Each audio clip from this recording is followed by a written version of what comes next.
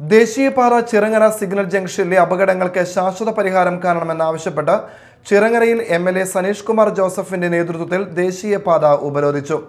അശാസ്ത്രീയമായ റോഡ് നിർമ്മാണം മൂലം ഇവിടെ ദേശീയപാതയിലെ ടാർ ഉരുകിയൊലിച്ച് തോട് പോലെ കിടക്കുകയാണ്. ഇതുമൂലം സ്ഥിരം വാഹന അപകടമാണ്. ഇരുചക്ര വാഹനങ്ങളാണ് കൂടുതൽ അപകടത്തിൽപ്പെടുന്നത്. നിയന്ത്രണം വിട്ട് വാഹനങ്ങൾ തെന്നിമറയുന്ന അവസ്ഥയാണ്.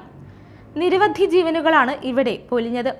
ഇനിയൊരു അപകടം ഇവിടെ ഇല്ലാതിരിക്കുവാൻ അശാസ്ത്രീയ നിർമ്മാണത്തിന് പരിഹാരം കാണാമെന്ന് ദേശീയപാത അധികൃതരും നിർമ്മാണ കമ്പനിയും പലപ്പോഴും ഉറപ്പ് നൽകിയിട്ടും പ്രശ്നത്തിൽ നടപടി എടുക്കാത്തതിനെ തുടർന്നാണ് പ്രതിഷേധ സമരം സംഘടിപ്പിച്ചത്.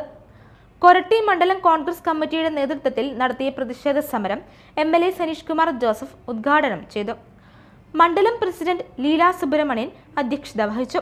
പഞ്ചായത്ത് അംഗങ്ങളായ ബിജോയ് പെരപ്പടൻ ഗ്രേസിസ് കറിയ പോൾസി ജിയോ ചാക്കപ്പൻ പോൾ വർഗീസ് പയ്യപ്പള്ളി മുൻ panchayat president Maneesh Sebastian V K Krishnan തുടങ്ങിയവർ സംസാരിച്ചു.